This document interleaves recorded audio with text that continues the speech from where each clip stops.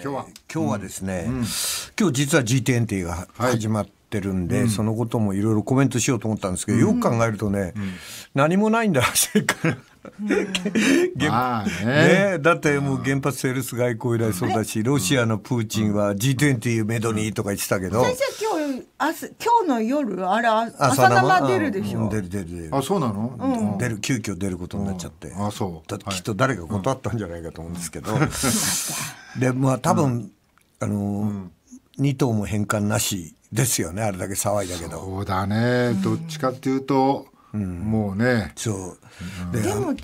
けメディアがさ2頭プラスアルファってか、ってさせんなんていう宣伝みたいなことしたんだから、同じように結果も報告すべきなんだよ、ね、そう懺悔すべきだと思う、それから米中対立を例えば日本が仲介するっていう、本来はそういう立場だけど、無理ですよね全くね、で多分ね、パリ協定あの G20 は環境問題なんか世界的に解決する問題として話し合うんだけど、トランプじゃその前の米中問題だけど、まあ、日本が仲介するみたいな形がいいって言ってるけど、あのやっぱり中国にしてみればアメリカと日本ってやっぱりかなり近しい場所にいるわけだからだから交渉の、そう、うん、NHK のニュースなんかがちょっとひどいなって最近思うんだけど、うん、安倍さんがなんか米中関係は完全に元に戻ったとかさ、うん、安倍中日中関係は、とか言ってんだけど、よく聞いてると、習近平はようやくスタートラインに立ったって言ってるだけだから、つまりファーウェイを排除して、国としては排除しちゃって言ったのは日本とかオーストラリアぐらいなんですよ。他の国は国としてはやってないわけですよ。あとあれもそうだよね。だからそんな虫のいい話があるから、そうすると NHK は都合いい、東京あ三菱 UFJ が中国の元で決済できるようになったとかさ、本当にあのこんな腐ったニュース流してて恥ずかしくないのかっていう状態だった、イランとの。イランとの。これ、金子さんあの中国が日本にやや接近してきているかのように見えるのはやっぱり米中対立があるからこそ、ちょっと日本とアメリカの間に多少こうくさびを打つというか、それもあるし、アメリカを牽制するっていう意味はありますよね。それもあるし、中国から直接輸出が非常に困難になれば、東南アジアがポイントになってくるわけですよ、アジア地域が。そうすると日本との関係、日本も出てるから、日本との関係も大事になってくるから、無用にその対立を日本との関係でアメリカに押しやるようにやっても、あまりプラスには中国にはならないし、日本企業もたくさん中国難しいヨーロッパとかはもうみんな中国とあれだもんね。うん、あまあみんなじゃないけどイタリアは完全乗っかっちゃったけど、うん、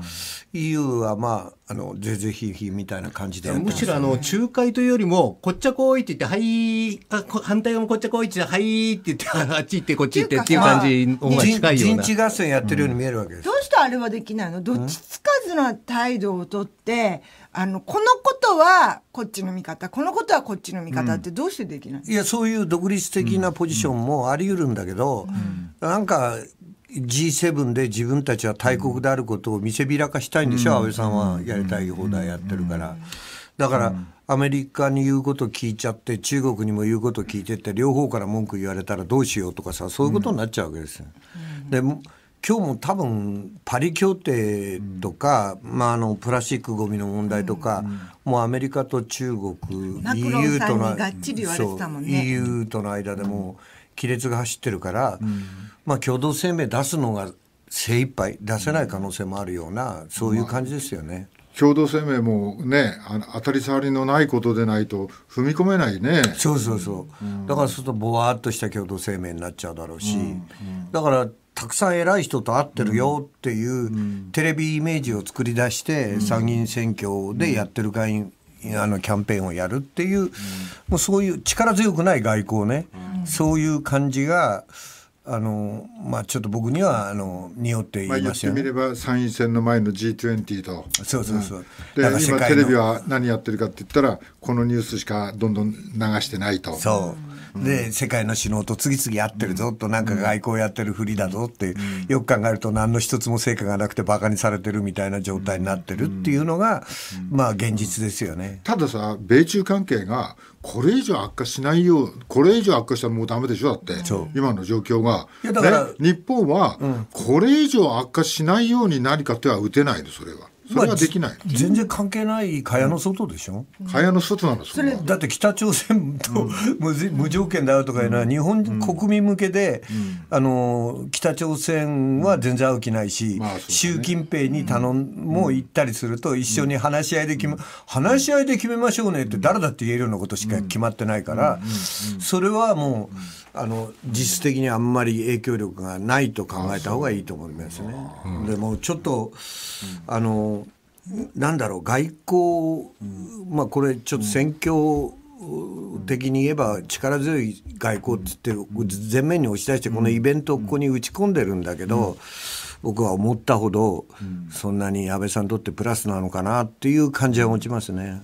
トランプも普通の人じゃないよね本。当すごいよね、やっぱり。日米安保で脅かしたりとかね。来る前にそれ持ち出しといて、そう。G20 では言わないわけでし先ょ生安倍さんにとってはプラスなのかなって安倍さんにとっては選挙の前ですごいその各国の首脳とさ笑顔で写ってってそういうの見せつけられるから安倍さんにとっては得なんだけど、私たちにとってはそのいいことそうそうだから中身を見たら何もないっていうね、それがあのやってる感イメージっていうかテレビ政治というか、そういうものになっちゃってて。で本当のところは、まあ、安倍さんは憲法とか外交とかを、まあ、争点にしたいんだろうけど、片方で、まあ、現実的には年金と消費税にそうだね。争点これをになっちゃってますどうするかだね、でも。そうそうそうそう。うん。で問題は一個だけ聞いていいですか、あのトランプさんが日米安保を破棄するぞみたいなことをほのめかしたって言って、日本はさあ大変だってことになってますけど逆の発想でだったら破棄してやろうじゃねえかみたいな、そういう選択肢って全くないいやそのぐらいのこと言ってもいいはずなんですよだってトランプ見え見えのディールじゃないですか、脅しです。ブラフですよね。イランイラン攻撃10分前にやめたとかさ、そんなバカなことありえないじゃないですか。普通 あの見込みをきちんと立てる。同じレベルで喋ってるので、そんなこと相手に相手にする必要そこで交渉するかと思ったらだけどああの感じが慌てっぷりがすごかったよね。だからさ安倍安倍政権というか安倍さんを中心にした人たちの足元を完全に見ちゃってるってことですよ。もう全くこいつらダメなやつらだなと思ってああいうことをもうどんどんどんどん言いまくる、オールムズ海峡の単価は自分で防衛しろとかね、それそれみんなディールの対象になっちゃうんですよ。すね。普通はならないの、そんな馬鹿げたことは。だけどなっちゃうくらい、あの力あの弱い外交になっちゃってるんですよ、もう足元見られてる先生なんか今日は元気があんまりない。でそれ、だってこんなあの G20 で馬鹿げたあのテレビ放送みたいなの見ててさこれでショーやっててこれで投票するのかなとか思ったら、すごいうんざりしうんざり感があるよね。でむしろ年金とか消費税ってきちんと生活に関わるところで議論をしなきゃいけない。あちこちの賞が、こうやっぱし2800万足んないとか、いろんな賞が。経済産業省も試算を出してたっていうこれで3000万円だったり金融庁がね言って、経済産業省経が済産業省が言って、まあ、厚生労働省や総務省も似たようなデータ出してるってことですかね。ね。だからら、言い始めてるわけだけど。でよく考えてみたら消費税が、あの2012年の合意の時に確かに、あの基礎年金の2分の1を税金にするってなったんだけど、実はこれ消費税じゃないんですよ、2004年に決まってたのにずっと実施しなかったこことを8年後にようやく実施しただけで、で本当はこの消費税の増税分を社会保障に使おうねっていうんで一体改革って呼んでたのが、い。つの間にか、あの法人税減税になっちゃったりポイント還元になっちゃったりっていうことになったことを、もう一度きちんと問うことが大事だと、もうそもそも言えばグリーンピアから始まってお前使い込んできたのは誰なんだみたいな話なわけですよ。でもう一方で消費税の増税だから消費税の増税に反対して年金よこせってのはあのちょっと無茶があるわけですよ。代替財源をしっかり言わない限りね。であの消費税をでもあの安倍さんはやるやると言ってるわけですよ。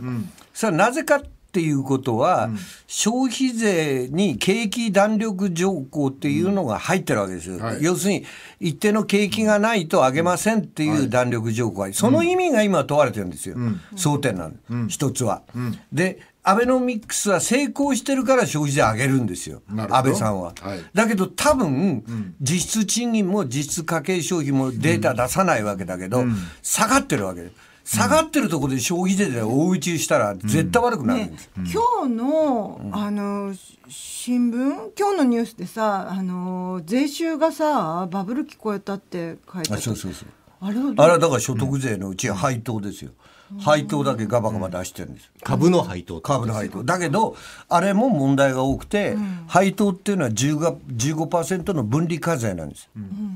利子もそうなんです。だからおかしいんですよ。本当は、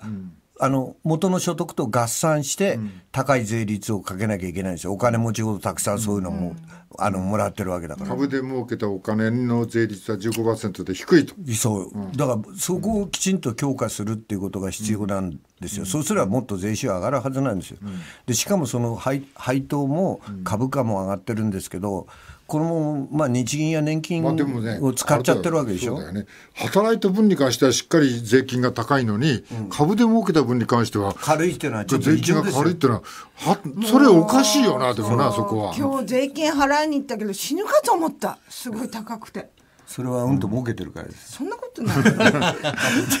税制が、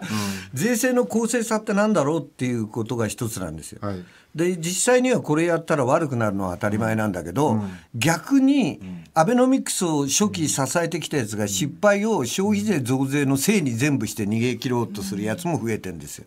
これちょっと、ね、とんでもないんですよ。なんでかっつったら、経済政策がうまくいっていれば、消費税上げても影響ないんですよ。はい、うまくいってないから消費税上げると悪い影響が出るん。ですよ。例えば89年に、あの消費税が3%で入った時は景気がいいから問題なかった。ところが97年に、あの5%に引き上げた時、1997年、その時はバブル崩壊と重なったから悪くなっちゃったわけです。ちょっと待ってじゃあけ今回目に見えて景気がガタガタしてきたら消費税上げたせいにするってこと？そうそう。したいの？したいでしょ？それで逃げ切っちゃう。アベノミクスの失敗のせいじゃないになっちゃう。消費税のせいだっていうふうに。それはヨーロッパでもそうなんだよ、うん、景気がいい時に上げてるあるいは経済政策がうまくいってるドイツやそのイギリスが2000年代にやったあの付加価値税の増税はすんなりいったわけです、うん、ところがイタリアはまあ例のあの状態だったので2011年悪くなっちゃったわけ、だから、今この消費税のせいにしてアベノミクスのせいじゃないってやつもインチキなんです、うん、これははっきりしなきゃいけない、うん、つまり政策が失敗してアベノミクスが失敗したから消費税上げられないっていうことなんですちょっと待ってよ。だけどどっちにしろ先生のその言ってることもその消費税のせいにしたい人たちも、うん、結局未来っていうのはガタガタになるのしか描いてないそうそう。だから本当の意味で言えば賃金も上げられない円安誘導のために緩和ばっかりやらざるを得ない状態っていうのは、日本の産業競争力が本当に衰弱してるからなんですよ。だから最低賃金上げたり、いろんなあのサポートをする教育や住宅をサポートしたりするっていうのも必要なんだけどどうこれがままず短期的には必要だけど中期的にはちゃんと産業で新しい産業が雇用を作っていく政策を合わせていかないと、こう未来永劫暗い方へ暗い方へ流れていっちゃうってことですよ。各企業もそこができてなかったそうどんどん悪くなっちゃってるっていうことでここが世界に遅れを取ってそうそうそうきて当然景気は良くならないってことだよね。そうですね。そこのところが一番基本的なことじゃないですかね。はい、時間です。ありがとうございました。